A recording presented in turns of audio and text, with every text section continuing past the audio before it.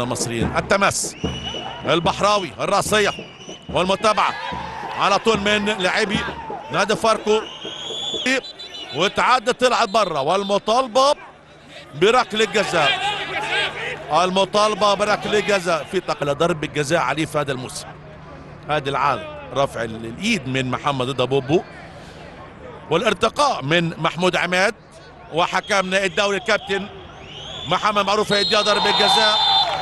لصالح نادي فاركو صاحب الخبرة وصاحب الموهبة أحمد الشناوي.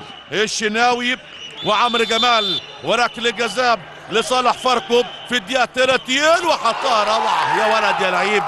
يا نجم يا كبير يا هداف يا كبير يا قناص يا رهيب. عمرو جمال يحطها جميلة جدا على الشمال ويودي أحمد الشناوي على اليمين. عشان فاركو يسجل الآن. الهدف الأول هدف التقدم يا سادة في الدقيقة 30 من زمن اشتاليا هذه العادة وادي الركلة الحلوة الجميلة. حطها جميلة جدا بثقة وبقدرات فنية وتهديفية عالية جدا جدا لعمرو جمال.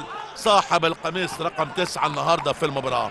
واحد فاركو لا شيء نادي بيراميد كارتي. وليد باستلام من محمد رضا بوبو. رضا على اليمين روعة. محمد الشيبي عرضية على اليمين. منطقة قطيرة الشيبي. لمها عدى الشيبي. يلعب عرضية ساحرة. قطيرة الهدف.